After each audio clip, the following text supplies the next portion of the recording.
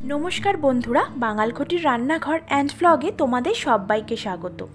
আজকে আমি তোমাদের সামনে তেলাপিয়া মাছের দুর্দান্ত স্বাদের একটি রেসিপি নিয়ে হাজির হয়েছি। খুবই কম মশলা ব্যবহার করে তেলাপিয়া মাছের এই রেসিপিটা কিন্তু তোমরা বাড়িতে ট্রাই করতে একদমই ভুলো না। এই রেসিপিটা খেতে কিন্তু খুবই টেস্টি হয়, তাহলে চলো আর কথা না বাড়িয়ে দেখে নেওয়া যাক আজকের আমার এই রেসিপিটি আমি এখানে চারটে বড় সাইজের তেলাপিয়া মাছ খুব ভালো করে ধুয়ে পরিষ্কার করে রেখে দিয়েছি। আর তোমরা এই রেসিপিটা কিন্তু একটু ছোট সাইজের তেলাপিয়া মাছ দিয়েও করতে পারো। এবার এই মাছটার মধ্যে আমি দিয়ে দিচ্ছি পরিমাণ মতো নুন আর দিয়ে দিচ্ছি পরিমাণ মতো হলুদ। নুন আর হলুদ দিয়ে মাছটার গায়ে খুব ভালো করে মাখিয়ে নেব। এবং তারপরে নুন হলুদ মাখানো মাছটাকে কুড়ি থেকে তিরিশ মিনিট একটু রেখে দেবো। এবারে আমি এখানে এরকম দুটো মাঝারি সাইজের পেঁয়াজকে একটু স্লাইস করে পাতলা পাতলা করে ঠিক এইরকমভাবে কেটে নেব। এবারে এখানে আমি একটা ছোট সাইজের টমেটোকে ঠিক এরকমভাবে চার ভাগ করে কেটে নেব। খুব বেশি টমেটো কিন্তু এই রান্নাটার মধ্যে ব্যবহার করা যাবে না। এরপর আমি এখানে পাঁচটা থেকে ছটা মতো কাঁচা লঙ্কা নিয়েছি। এগুলো আমি একটু বেটে নেব।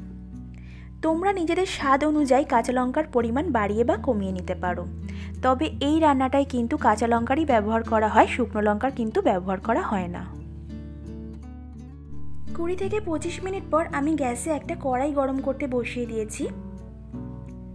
কড়াইটা একটু গরম হয়ে গেলে আমি একটু বেশি পরিমাণে সর্ষের তেল এর মধ্যে দিয়ে দিচ্ছি, কারণ মাছটা কিন্তু একটু বেশি তেলেই ভাজতে হবে। তেলটা দেওয়া হয়ে গেলে আমি প্রথমে এই সর্ষের তেলটাকে খুব ভালো করে গরম করে নেব।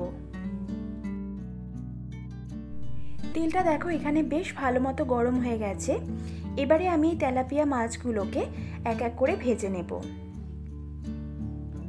মাছগুলো দুটো সাইডই খুব ভালো করে ভেজে নিতে হবে, তবে খুব বেশি কড়া করে কিন্তু মাছগুলোকে ভাজবো না। মাছগুলো যখন ভাজা হয়ে যাবে, তখন আমি মাছগুলোকে অন্য একটা পাত্রের মধ্যে তুলে রেখে দেব। এরপর আমি বাকি দুটো মাছকেও ঠিক একই রকমভাবে ভেজে নেব। এবারে আমি কড়াইতে আর কোনো তেল দেব না এবং ওই তেলের মধ্যেই দিয়ে দিচ্ছি হাফ চা চামচ কালো জিরে। এই কালো জিরে ফোড়নটাকে আমি কয়েক সেকেন্ড একটু লো ফ্লেমে ভাজা করে নেব।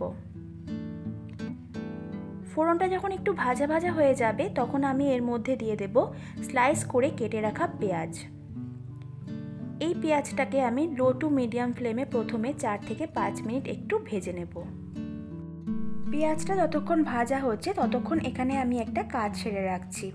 আমি এখানে একটা ছোট বাটি নিয়ে নিলাম। এবারে আমি এর মধ্যে দিয়ে দিচ্ছি একটা চামচ মতো হলুদ গুঁড়ো আর দিয়ে দেব একটা চামচ মতো জিরে গুঁড়ো। আর দিয়ে দিচ্ছি খুব সামান্য পরিমাণে একটু জল। এবার আমি একটা চামচ দিয়ে এই জলের সাথে হলুদ গুঁড়ো, জিরে গুঁড়োটাকে খুব ভালো করে মিশিয়ে নেব এবং মিশিয়ে নেওয়া হয়ে গেলে সাইডে এখন সরিয়ে রেখে দেব।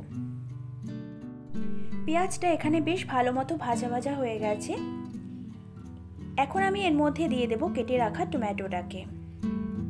এবং এরপরে আমি এর মধ্যে দেব স্বাদ মতো নুন। নুনটা আমি এই সময় দিচ্ছি কারণ নুনটা দেওয়ার ফলে টমেটো আর পেঁয়াজটা খুব কম সময়ের মধ্যে বেশ ভালো মতো নরম হয়ে যাবে।